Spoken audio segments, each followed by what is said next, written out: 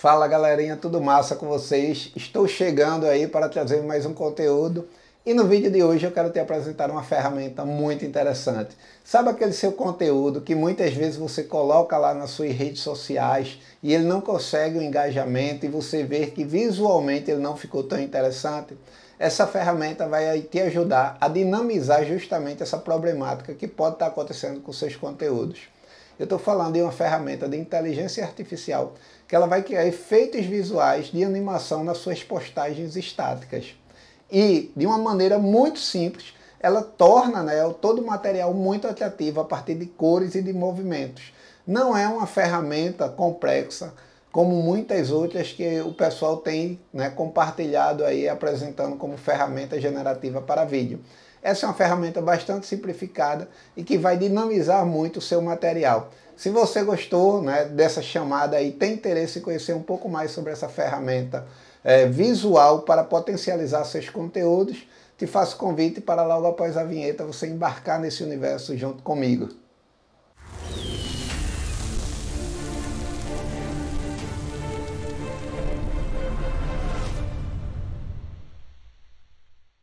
Fala gente, sejam bem-vindos de volta. Para você que está chegando neste momento e ainda não me conhece, muito prazer. Eu me chamo Elvio Luiz e este aqui é o Foto Falada, um lugarzinho pensado para a gente partilhar muita informação e conteúdos que possam né, agregar valor à sua jornada. Como na chamada do vídeo, pessoal, eu quero apresentar para vocês uma ferramenta que ela já existe há algum tempo, mas que pouquíssimas pessoas têm utilizado ela para enriquecer seus conteúdos.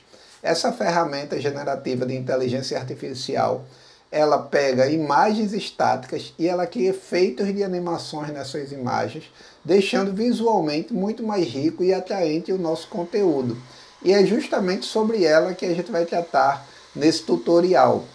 Mas antes da gente adentrar nesse vídeo, galera, gostaria de pedir aquele favor básico que é, se você ainda não faz parte aqui do nosso canal, você efetivar sua inscrição, você está ativando as notificações, que é super importante para você só ser notificado sobre os nossos conteúdos que todas terças e quinta-feiras colocamos aqui né, no YouTube, pontualmente, meio-dia e meio, nesses dois dias você vai ter vídeo novo.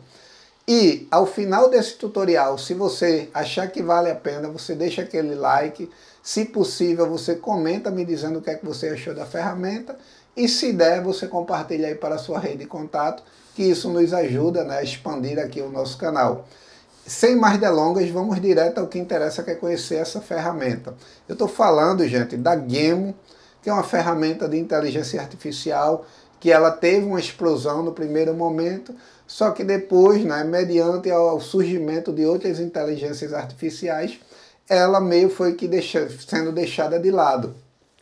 Só que eu acho que é uma ferramenta muito simples que proporciona, né, principalmente para quem está iniciando, efeitos visuais muito bacana para você estar tá enriquecendo seu conteúdo de rede social, você está criando postagens mais atraentes. Tudo isso eu acho muito interessante. E é muito simples de utilizar essa ferramenta aqui. Tá? Esse aqui é o template oficial dela não, não tem muitas complexidades como algumas outras ferramentas, e ele já, tá dizendo, já vem dizendo aqui, né? É, fantástico vídeo geração, né? É, 2D que ative vídeos com textos, né? É, transforme textos é, em vídeos através de inteligência artificial. E aí ela traz essa galeria aqui, essa pequena galeria que mostra né, que as imagens elas vão gerando alguns movimentos ilustrativos que se torna bem interessante. Não tem muitas coisas aqui de informação, né? eles pedem para você se direcionar é, para o Discord também, mas eu vou utilizar no meu próprio buscador a, a, a questão da geração. Quando você adentrar aqui pela primeira vez, vai pedir para você fazer um cadastro. Se você tiver uma conta Google, você já pode logar direto e você vai receber né, uma quantidade de créditos para você gerar essas imagens é, que vão dar essa ideia de animação. Aqui, ó, como vocês podem perceber, está aqui minha fotinha, está meu nome, e aqui está dizendo ó, que eu tenho 72 de combustível ainda. Isso dá para gerar algumas coisinhas, certo? Que vocês vão ter uma dimensão melhor. Eu posso estar abrindo também uma dessas imagens para mostrar para vocês. E aí é bem interessante esse movimento, né? Que ela vai é, pegando na imagem vai gerando. Eu tenho condições de baixar isso aqui, eu tenho condições né, de pegar o prompt disso aqui, mas minha ideia é começar uma do zero, sem ter que pegar nada que já está aqui produzido, até para a gente entender se ela vai se comportar de uma maneira bacana ou não. E aí eu vou dar aqui o Start, ele já vai me perguntar aqui, ó, eu quero subir uma imagem, quero fazer o upload disso, eu quero pesquisar uma imagem em algum lugar, ou eu quero né, fazer essa criação. Eu vou pedir para fazer uma criação do zero. Eu já tenho um promptzinho aqui, ó, que é né, sobre um bebê dragão dentro de um ovo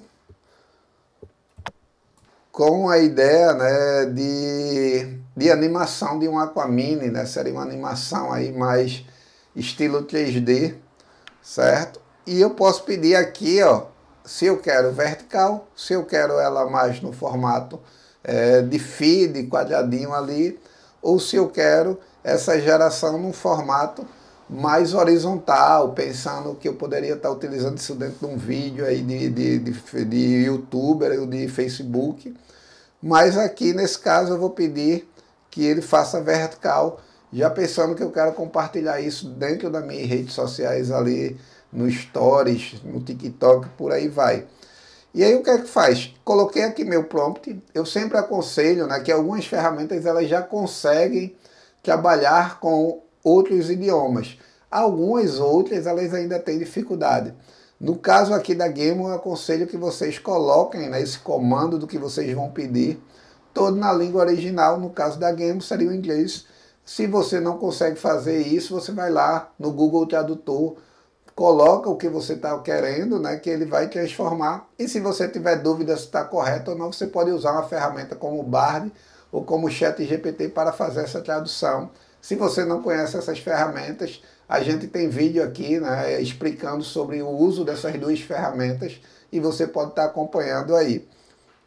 Feito isso, gente, é só eu pedir para ele gerar a imagem agora vai ter o tempo de processamento, que eu achei, por se tratar de uma questão de movimento, nessa relação de pegar ou uma imagem já existente ou uma imagem que não existe, eu achei relativamente rápido. Já utilizei ferramentas aqui no canal que demoraram bem mais do que isso aqui. E aí ele está processando primeiro a ideia aqui, ó, da minha imagem do bebê dragão com seu ovo. Feito aqui a imagem, eu vou clicar nela, ela vai me direcionar aqui, certo? Para que eu possa fazer a minha animação. E aí eu posso, né, tipo, estar tá excluindo coisas, ou eu posso estar anexando coisas aqui. Aqui eu tenho alguns comandos, né, que eu posso colocar o tempo do vídeo, é, a, a exposição, o dinamismo, tudo isso, né, coloração, tá? Eu tenho como fazer essas adições aqui mas eu não vou trabalhar isso nesse vídeo porque eu quero que vocês entendam isso aqui e com certeza vocês chegando aqui, você vai ter essa opção de estar tá fazendo esses ajustes todos. Aqui eu tenho como colocar né, o que eu quero que exclua do meu vídeo, mas eu também não vou estar tá colocando nada e eu vou pedir né, para o que foi gerado aqui se transformar numa imagem. Isso aqui é legal, ó, que ele tem um pincel que eu posso né, dizer para ele que eu quero mais animação, um exemplo, no olho ou no ovo. Eu posso ir desenhando as áreas que eu quero que tenha mais animação. E aí eu vou pedir para ele gerar isso aqui. Eu vou colocar aqui ó, mais no olho. Vou colocar aqui também no ovo. Não precisa ser uma, coisa corretinha não, tá, galera? E vou pedir para que isso aqui se transforme numa animaçãozinha. E aí, tempo de processamento, ele fala aqui que você pode turbinar, tornar isso 10 vezes mais rápido, mas aí você vai ter que partir para uma questão de assinatura paga e tudo isso. Como a ideia do nosso canal é sempre apresentar as ferramentas de maneira gratuita, para que você tenha um entendimento e você faça suas próprias análises, se essa ferramenta merece uma assinatura, se ela vai suprir a necessidade que você tem tudo isso fica a seu critério aí e reforçando, não recebemos nada aqui de plataforma nenhuma, não somos um canal é, financiado por ninguém, somos totalmente independentes e a gente só apresenta aquelas ferramentas que a gente acha interessante e que possam, né, de alguma maneira, agregar algo aí na sua jornada. E aí pedir aqui a geração, vamos ver o que é que ele gerou. Né? Ó, como é uma imagem mais estática, ele tecnicamente só deu essa animada aqui no olho, né? não gerou grandes animações aqui não. Né? É uma coisa assim que eu esperava até que ficasse melhor, mas não, não, não chegou a um nível muito alto de excelência. E aí a gente pode, né? Tipo, não fiquei satisfeito, eu posso estar retornando e posso estar pedindo novas gerações. Aqui ele mostra a introdução, certo? Que aí você pode estar utilizando até no smartphone isso. E eu vou pedir, né? Aqui eu vou vir na criação de novo e vou gerar mais alguma coisa aqui para a gente poder ver esse resultado até melhor do que esse que foi gerado, que eu achei que ficou bem a desejar. Já tinha gerado algumas outras que eu achei bem melhor do que essa, tá? Enquanto processo aqui, gente, né, voltamos, gostaria de reforçar aí, se você não está inscrito, se você está curtindo né, esse momento, está gostando do nosso vídeo, efetua sua inscrição aí, ativa as notificações, se possível, deixa aquele like, comenta e compartilha para nos ajudar. Cheguei aqui de novo, o que é que eu posso fazer? Eu posso vir e buscar lá na galeria né, alguma coisa também para que eu possa gerar. Daquela última geração do Diagão para agora, levou 12 créditos meus, né? relativamente alto isso aqui eu achei, mas é o que a plataforma né, disponibiliza e aí eu não tenho muito o que reclamar é, eu posso vir procurar aqui, né, dentro da galeria deles, alguma coisa que eu possa estar tá copiando esse prompt, se eu não quiser gerar meu prompt próprio. Eu vou pegar, vou pegar esse aqui das, das flores, achei legal, e eu vou copiar esse prompt aqui, e eu vou jogar ele lá sem muitas otimizações, sem nada disso. Vou deixar ele do jeito que eu copiei aqui e vou levar para lá para ver o que, é que a plataforma vai gerar. Pedir aqui o Get Start, colei o prompt, vou colocar ele de novo né, no formato vertical e vou pedir a geração. Eu não coloquei outros comandos, só peguei o que estava escrito lá, né? Poderia colocar aqui a forma dinâmica, resoluções, nada disso, mas peguei do jeito que estava lá para ver o que, é que a plataforma vai nos entregar e se vai trazer um bom resultado. Está gerando aqui a imagem, ó, 77%, e aí apresentou aqui a imagem, né? achei até bonita a imagem, as florzinhas aqui. Vou clicar nela para trazer né, ela aqui para dentro. Posso estar selecionando de novo, só que dessa vez eu vou deixar que a plataforma ela trabalhe automatizada. E vou pedir para gerar essa imagem aqui. Reloginho aqui na tela, começou a rodar. Vamos aguardar um pouquinho. 5%. Não é um tempo demorado é, para essa ideia dela ir processando é, de uma imagem, essa questão de um movimento, é até interessante o tempo que se leva. Eu achei que seria mais longo, é, como outras plataformas aqui que eu já utilizei, que levou 2, 3, 4, 5 minutos. E cada dia que a gente avança com essas inteligências artificiais, cada vez os processos eles são otimizados né? e as plataformas elas estão se adaptando muito bem é, à necessidade dos usuários. E aí agora, galera, gerou aqui a nossa imagem. Essa eu já achei bem bacana. A imagem aí com essa questão de tipo, parece que é um, um vídeo, né? Mas você vê que são como se fossem diversas imagens aplicadas para gerar essa questão visual de pequenos movimentos. E aí, se eu gostei disso aqui, tá? Eu posso estar tá fazendo o meu download. Vou pedir aqui o download disso para que eu possa estar tá colocando aí nas minhas redes sociais. E aí ele trouxe aqui, ó, né, todas, todas as codificações de que foram usadas. Eu posso estar compartilhando isso com outras pessoas, né?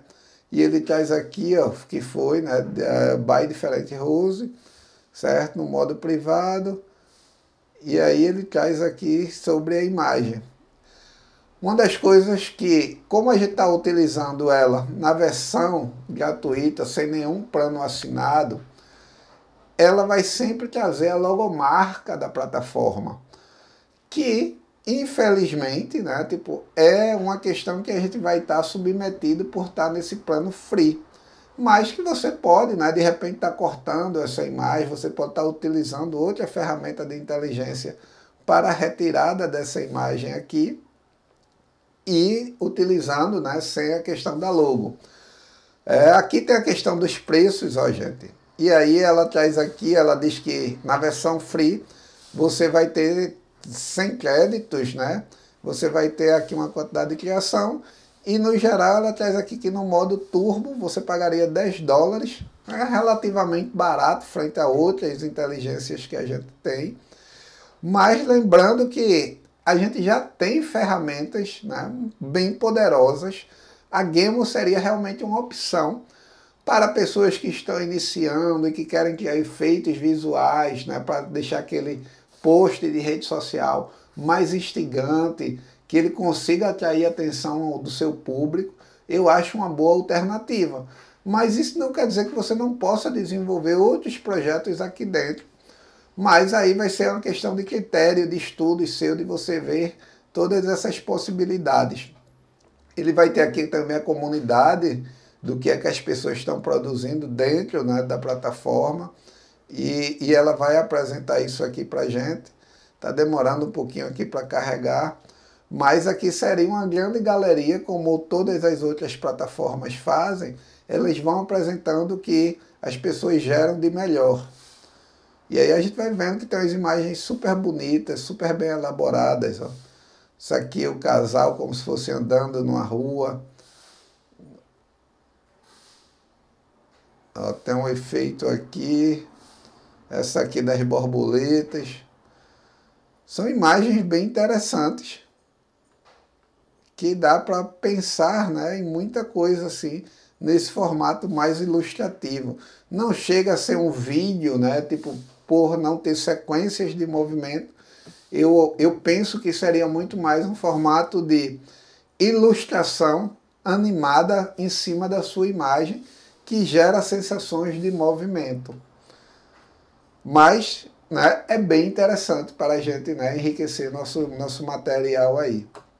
Então, esse é um pouquinho da Gemo. Ah, se você acha que isso aqui vai lhe ajudar né, a criar situações melhores para o seu trabalho, para o que você desenvolve aí, é, super indico, acho que é importante né, você conhecer essa plataforma e experimentar. E galera, eu espero que vocês né, tenham acompanhado aí, tenham curtido esse tutorial.